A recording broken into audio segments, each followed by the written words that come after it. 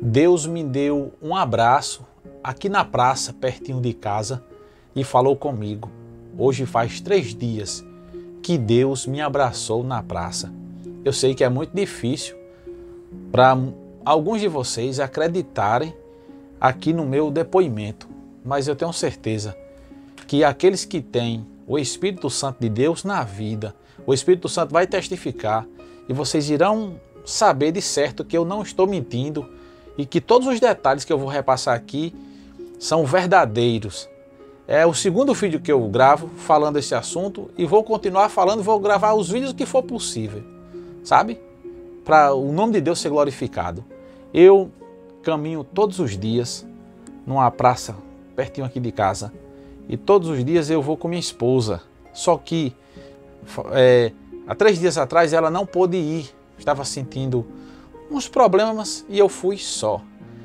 Só que quando eu fui, o sol já estava se escondendo, já estava escuro. E ali naquela praça tinha apenas, acho que umas duas luzes acesas do, dos postes ali. A, a, as outras estavam todas apagadas. E eu comecei a caminhar. E é, a praça, eu, eu dou várias voltas na praça e a praça tem em torno de 350 metros quando você completa a volta. E por incrível que pareça, comecei a caminhar e vi que não tinha ninguém caminhando na praça. E foi a primeira vez que não tinha ninguém. Toda vez, todo dia, tem várias pessoas ali caminhando. E eu fiquei sem entender. Não tinha ninguém. Eu olhei para um lado e para o outro, não tinha ninguém. Eu disse: esse momento é um momento bom de orar. E eu disse: eu vou orar, vou caminhar aqui 40 minutos e vou orar. Comecei a orar. Comecei a falar com Deus, glorificar a Deus ali, caminhando. Quando de repente eu disse assim: Senhor, é, me guarda, me guarda, Deus, porque é uns cantos assim que, que é perigoso da gente caminhar. Deus me guarda. Quando eu disse isso, eu escutei uma voz que dizia assim: Eu já te guardo.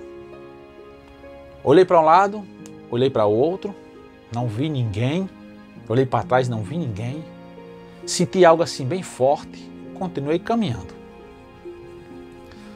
Quando eu cheguei mais na frente, eu continuei orando a Deus e disse assim: Senhor, perdoa os meus pecados. Aí eu escutei uma voz dizendo assim: Eu já te perdoei. Nesse momento, eu enchi os olhos de, de lágrimas, me arrepiei dos pés à cabeça, olhei de um lado para outro, não tinha ninguém, eu estava sozinho. Comecei a falar línguas estranhas. Eu ali feito um louco, naquela praça, rodeando, e comecei a orar a Deus. E eu dizia assim: Senhor, me guia. E aí eu escutava a voz dizendo: Eu já te guio. Eu te guio. E eu disse assim: Senhor, tenha misericórdia de mim. E eu escutava a voz dizendo assim comigo: As minhas misericórdias são, são as causas de você não ser consumido. Tudo que eu dizia para Deus, eu escutava uma voz dizendo, dizendo que ele já estava fazendo. Quando eu pedia, me proteja, a voz dizia, eu já te protejo. Me guia, a voz dizia, eu já te guio. Fica aí que você, vocês vão, vão ver o que aconteceu depois disso, gente. Quando eu, eu percebi, gente, já tinha passado aproximadamente umas meia, meia hora de caminhada e não tinha ninguém na praça, não tinha ninguém. E no meu entendimento, era como se fosse ali, tivesse passado dois minutos, três minutos, quatro minutos no, no máximo, mas não. Já haviam se passado é, em torno de 30 minutos. Mas por que eu estou dizendo? Eu estava sem relógio, mas por que, que eu sei? Porque eu dou 10 voltas na praça. E cada uma volta, no dia que eu levei relógio, uma volta é em torno de 4 minutos. Então já tinha dado em torno de, de 8 voltas na praça. Era em torno de mais de meia hora. E eu chorando, me arrepiando, ninguém na praça. Aí, gente, eu senti desejo assim. Eu, eu, tudo que eu queria assim era um abraço de Deus, de ver Deus. Me deu vontade de ver Deus como Ele é, mas é impossível a gente ver Deus. Ele é espírito, Ele é real, mas a sua presença, a sua presença é, é real, apesar de a gente não poder vê-lo. E aí eu desejei muito assim, dar um abraço em Deus. Eu não vou mentir. Eu não vou dizer que pedi para ver Deus, certo? Eu não pedi para ver Deus. E comecei a orar. E tudo que eu pedia, escutava essa voz. Aí, gente, eu senti a voz do Espírito Santo. Eu não ouvi. Eu disse assim: Meu Deus, o que é que eu vou? Tudo que eu digo, eu, tô, eu escuto deu, a voz, uma voz dizendo assim: Eu já faço isso. Se eu me guarda, eu já te guardo. Se eu me guio, eu já te guio. Se eu me perdoo, eu já te perdoo. Senhor, o que é que eu vou fazer aqui? Eu comecei a falar com o Espírito Santo. Escutei, não escutei, mas senti a voz do Espírito Santo dizendo assim comigo: adore a Ele, agradeça a Ele. Porque eu percebi que eu estava pedindo e Deus já estava fazendo aquilo que eu estava pedindo. E eu senti a voz do Espírito Santo de Deus falar comigo, dizendo: agradeça a Ele, louve a Ele, adore a Ele. Eu comecei a adorar, gente. Glória a Deus, glória a Deus. Olha, gente, o, o, o melhor vem aí, viu? O melhor vem aí. Eu sei que, que Satanás não quer que eu conte isso, porque o nome de Deus vai ser glorificado na vida de milhares de pessoas. Viu? Olha só. Aí sai glorificando a Deus. Louvado seja o nome de, do, do, Deus de, de Abraão, de Isaac e de Jacó. Senhor, obrigado, Senhor. Às vezes a gente pede, pede e esquece de agradecer. E sair agradecendo e adorando a Deus agradecendo e adorando a Deus, sentindo a presença ali que inundou aquela praça ali. Estava de noite, já tudo escuro. E eu, se eu pudesse dar um abraço a Deus ali, eu, eu, era tudo que eu queria, sentir o abraço de Deus. De repente, eu andando, um rapaz vem por trás de mim e me abraça. Nunca vi aquele rapaz na minha vida. E a mãe dele dizendo: Felipe, se eu não me engano, o nome dele era Felipe. Felipe, solta o rapaz. Ele, ele me agarrou. Ele é uma pessoa especial. Ele sofre de uma síndrome. Eu não sei qual é essa síndrome. Eu sei que ele me agarrou ali naquela praça, me beijou, alisou os meus cabelos, o meu rosto. E eu disse: Não, mãe, deixa, deixa ele aqui comigo. E ela disse: Não, Felipe, não pode não. Solta o rapaz, Felipe. E ele se agarrou comigo ali, aquele abraço, sabe? Era como se Deus estivesse mostrando para mim: Olha, eu sou espírito, mas eu uso as pessoas. Ali era, uma, ali era Deus me abraçando porque Ele nos abraça. Quando nós nos sentimos assim, sozinhos, quando nós estamos assim, precisando do conforto do Senhor, sabe, de um abraço, Ele usa as pessoas. E aquele rapaz me beijando, ele tinha mais ou menos assim, eu calculei, mais de 20 anos, e ele só fazia rir. Ele não, não pronunciou uma palavra, só fazia rir, me abraçando e me beijando. Aí ele saiu caminhando comigo. Saiu caminhando sabe? Vários passos, vários metros, ele caminhando, eu do lado dele, eu, eu abracei ele também, ombro a ombro assim, a gente saiu caminhando e a mãe dele atrás andando. Solta Felipe, solta Felipe. E ele não saltava, gente. Ele andou bastante comigo, sabe? Sabe o que eu me lembrei agora? Eu me lembrei agora do jovem que sonhou.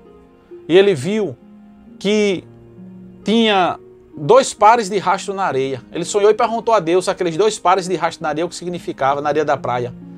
Deus disse a ele: Meu filho, aqueles dois pares de rastro na areia, um par de rastro é o seu e o outro par é o meu. Eu caminho ao seu lado nos momentos difíceis da vida. E aí, aquele jovem no outro dia sonhou novamente. E ele viu que não havia mais dois pares de rastro na areia. Só haviam os seus rastros, somente um par de rastro na areia. E ele foi e reclamou ao Senhor: Meu Deus, Senhor, por que fizeste isso comigo? Na hora que eu mais precisaste, tu me abandonastes e eu só vi os meus passos, não vi os teus passos. Por que fizeste isso comigo, Senhor? Aí o Senhor falou para ele, Deus falou assim para ele: Meu filho, aqueles dois aqueles pares de rastros na areia não eram os teus rastros, eram os meus. Você não estava mais caminhando, eu que te carregava nos braços. Aí aquele jovem que sonhou esse sonho entendeu que ele estava sem forças e Deus que levava ele nos braços. Sabe? Naquele. Essa experiência que eu tive, gente. É, fica à vontade para acreditar, para dizer que eu sou mentiroso. Deus sabe aqui da minha sinceridade, do meu coração. De forma alguma eu estaria aqui usando as redes sociais para mentir, usando o nome de Deus em vão.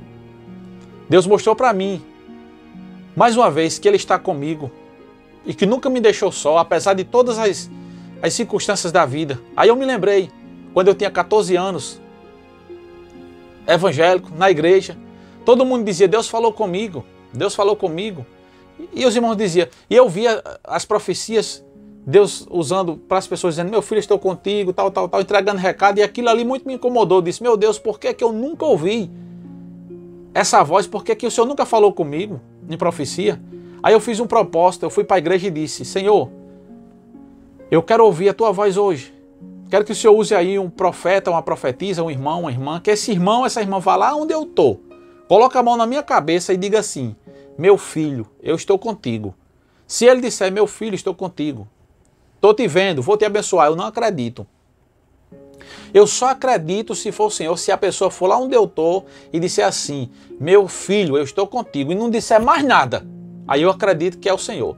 Se eu não escutar isso hoje, Deus, eu vou me afastar dos teus caminhos, vou fazer tudo que der na telha, não vou caminhar mais no, no, na, nos teus passos, Senhor. Eu fiz isso na minha ignorância. Ninguém deve fazer isso. Mas eu fiz, eu não vou mentir. 14, 14 para 15 anos eu, eu tinha.